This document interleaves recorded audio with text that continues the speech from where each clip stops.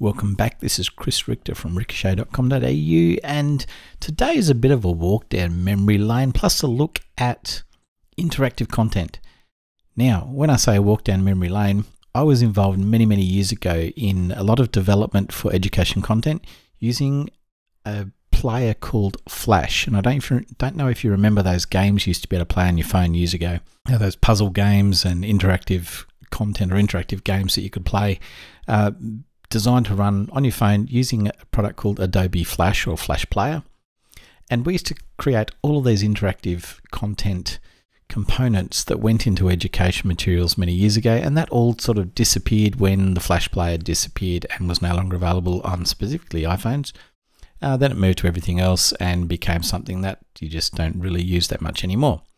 So, sort of disappointed about all of that sort of thing disappearing because a lot of education or a lot of the value in education can be things that are more interactive. So the student isn't just consuming content, they're actually involved in the content.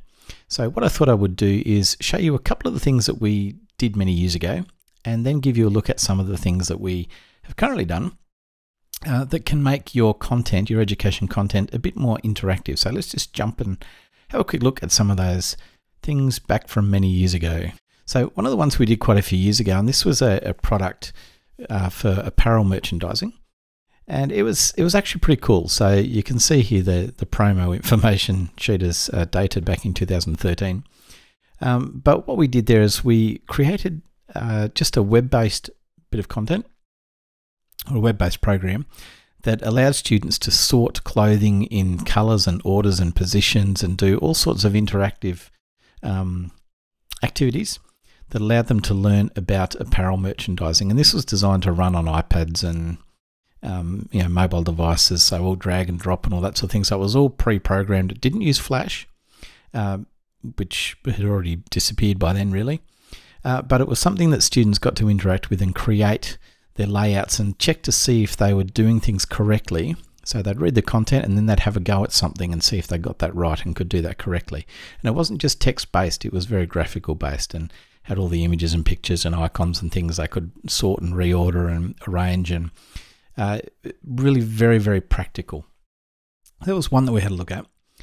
Another one that we did uh, even earlier than that back in 2012 and before that we created a whole virtual island to sit inside uh, the google earth player. And this island was a, I see the graphics is very ordinary there. I don't have a really good copy of that to show you, but um, and it no longer sits on Google Earth, uh, but it was called Mayhem Island and it was used for ecotourism training.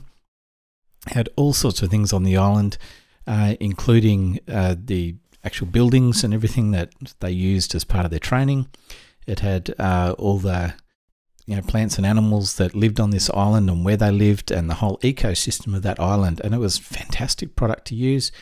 Hundreds and hundreds of, of photos and pictures of um, obviously real world you know, plants and animals that all belong there, and it was all set off the east coast of Australia.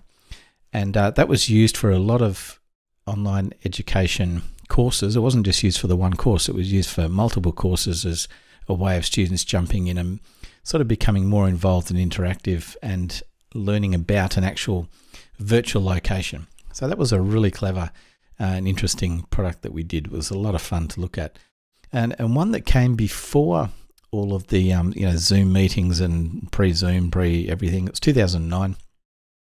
We we're actually experimenting with real-time video, and we managed to get 12 webcams connected across Australia.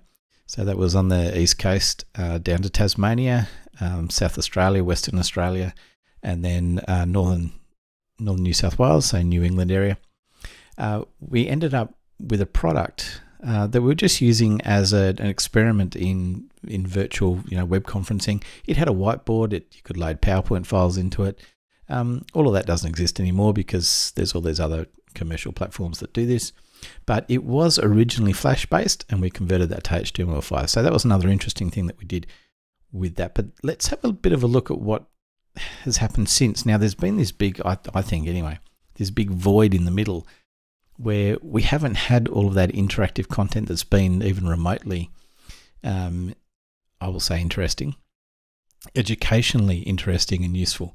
But Um, let me show you a few things that have sort of come about more recently. Now, one of those is an automotive course that we've been uh, putting together that you know, needed some sort of animation, but we thought let's make it an interactive animation so at least students can interact a little bit with it. So not real exciting, but useful.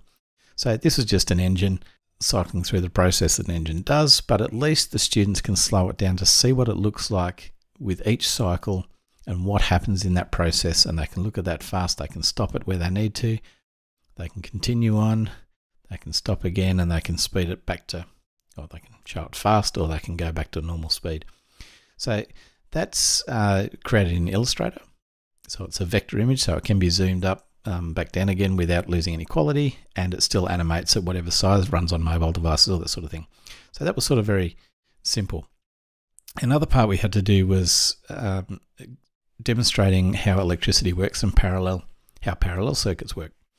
Uh, so this one, again, it's an animation drawn up in Illustrator, uh, then into Adobe Animator, I think, for this one. Then the example is there's a few buttons for them to try things out. So if globe 1 is blown, what happens to the electricity? Where does it go? If globe 2 is blown, you can see it now goes through globe 1, stays alight. If both globes are blown, then the whole thing stops and you get nothing. And then you can reset it. That was just an example. Um, you know, when we say interactive, it's not highly interactive, but it's more practical than trying to write that down in a paragraph or in a couple of paragraphs and have a student understand that concept. So this makes it much easier for them to understand.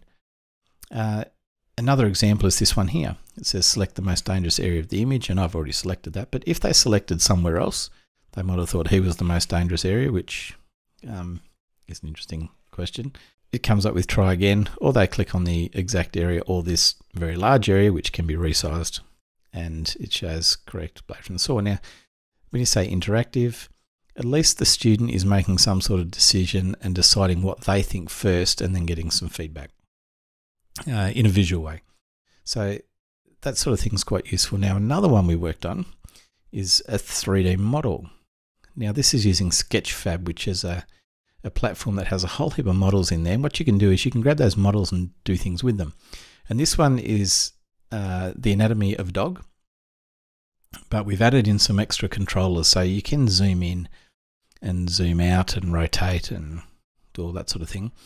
But the added functions we did with this one, because there's all these layers inside the dog uh, or below the dog that you can't really see just by looking at it there, so for example, if we run to this slider, as we make the slider, drag the slider across, it goes through each layer and removes the top layer to show what's underneath. So you can now see where the muscles sit in relation to the dog. Then you can go further down and see where the muscles sit in relation to the bone structure. And keep working your way through and sit, see where all the internal components sit in relation again. So it just keeps going down and down and down and down uh, to remove them all. So that's a, another clever way of using 3D modeling to interact. But I'm interested in what you think. Do you, do you think it's actually useful?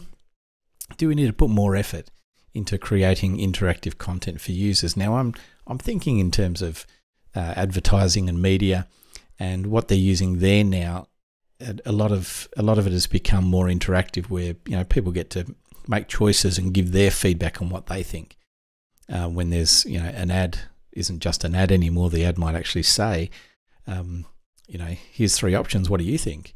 And then you can choose and you can look at the statistics and go, oh, okay, that's interesting to see where I fit in between that. Or I answer questions about myself and it comes back with results, which we wouldn't do in education, but um, normally.